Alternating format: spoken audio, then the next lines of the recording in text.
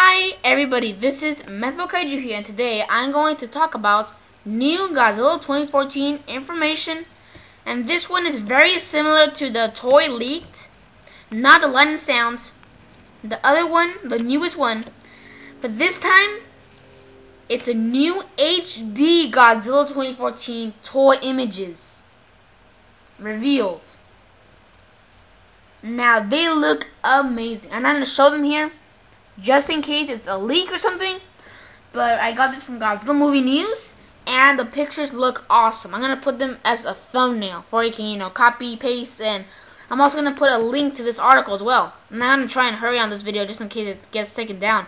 But they look spectacular. But I'm gonna read what it says here in Godzilla Movie News. Um, so yeah, here this is what it says.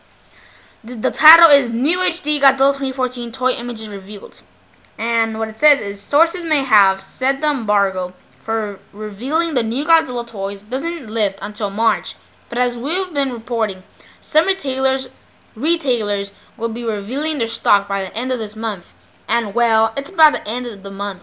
And we have a new HD look at one of the many Godzilla 2014 figures to be produced for the new film.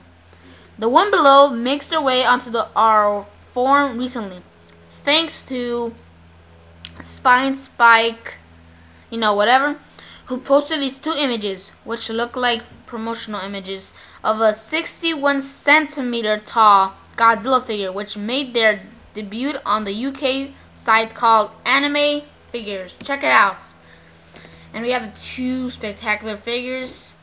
I'm going to review them later, but I didn't read the end of this article. So what do you think? It's a nice change from the... Is it... Wait. Sorry, my tongue got twisted a little bit there. It's a nice change from the last toy we saw, which had less detail and seemed made for a younger younger audience. This one looks to have a few points of articulation as well. Let us know what you think by commenting below. And also, I'm going to ask that to you guys as well. What do you think of this figure? If you haven't seen it, then I'm going to put this article as a link in the description below. And they have these two pictures. They look very awesome. Now I'm just gonna review them. So they look very similar to the other leaked. You know the uh, the second one, the second leaked. You know the newest one. Now from what we can see here, it looks like it's gonna have a grayish, bluish color, and the um, the chest is kind of like a brownish, like a caramel color with yeah caramel color. And overall, the color, the paint detail, it looks very, very nice, very cool. The spikes are actually a little bit short, It's kind of like Godzilla Juniors, except they're a tiny bit bigger. But they're not too big or small, but it's going towards the small side. But, you know, I guess you want to make it realistic, so, you know. Godzilla, of course, is not going to have giant spikes if it's, you know, trying to be realistic. The face looks awesome. It has orange evil eyes, which means, you know, Godzilla can have the orange eyes. And then the the tongue you know, it's completely red. It looks, you know, very cool. And the teeth, they look a little bit messed up, you know, because it's meant to be like that. And also, they're pretty sharp and pointy. The tail, the tail at the end of the tail is very, like, slim. And very sharp. It looks like it's very sharp. The feet are, you know, stump feet, the elephant feet, except they're a little bit more textured and they're they look more like realistic than the other one that got leaked. It doesn't have the black uh, the black fingernails or whatever. Um, so yeah, the, overall, this figure looks very awesome. It might actually be even the best figure in my collection if I get it. Um, it, it seems like this is not a leak, but you know, just in case, you know, Warner Brothers and Legendary get upset of this and then they take it down, I might hurry up in this video and post the link, you know, for you can see it. Or I can just put it as a thumbnail, so, you know, one of those two.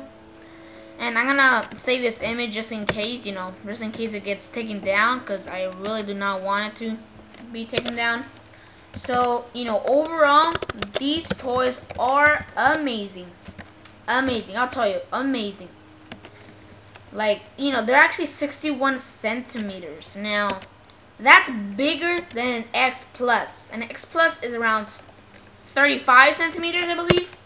I'm not a big fan. I mean, I don't know the, you know, the whole statistics of the X Plus figures, but I've heard that they're about 35 centimeters. The shortest one is like 20 centimeters, and the biggest one is like 40 centimeters.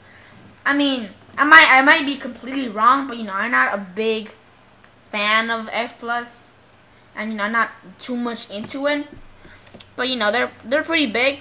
But I didn't. But I don't think there's a X Plus that's 61 centimeters tall. This one's gonna be a huge figure, huge figure, very big figure. It's gonna be like super small compared to my six inch figures. Very small. I mean, not too small, like all the way to his nail, but you know, you know what I mean. Maybe on, all the way to his uh, knee or something, around there. But this figure is going to be a big figure. But overall, the detail and all the scales and the paint job and the look of it and the sculpt, they're absolutely amazing.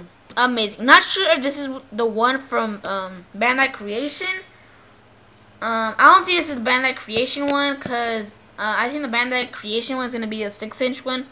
I think this one is going to be a NECA one. And if this is the NECA, it looks very, very cool. Oh, I forgot to mention the articulation. The articulation from we can see here, it looks like the head has a, uh, it kind of looks like the head can rotate, but it might be a gluteal. The arms can definitely rotate because in the pictures they're actually different. In the top picture, you know, his hands are like going down. In the other picture, you see one of his hands like, you know, up. So, you know, of course the arms can move. The legs most likely can move as well. And it looks like the, the tail has um, three segments that could probably rotate. The mid part, the end part, and the, I guess, the butt side, I guess you want to call it. It's very near the closest to the body side. So, you know, articulation, not sure about the head. The tail, I mean the tail, not the tail, the tongue, it looks like it can actually move but it looks also, you know, it's put in there, so I'm not sure. So I'm actually not sure about that, but if, you know, for to be very certain, the arms and the legs. Not sure about the head, and not sure about the tail. Most likely the tail can move, but, you know, I'm not sure yet. But anyways, um, you know, this is a very nice figure. You know, I'm going to put this article, the link in the description below. I barely noticed this about around Hmm. About like 10 seconds ago before I even did this video. Um, so yeah, this is the end for this video. Subscribe, like, and comment. What do you think of this figure? What do you think of this figure? Is it cool? Is it just, you know, another figure that, you know, nobody cares about? My opinion, I think I already said it too many times, but I'll just say it again. It looks epically awesome. I'm not sure if that word even exists, epically, so, you know, don't blame me with that. But anyways, this is the end for this video. Sure to like and comment. This is Methlo Kaiju, signing out.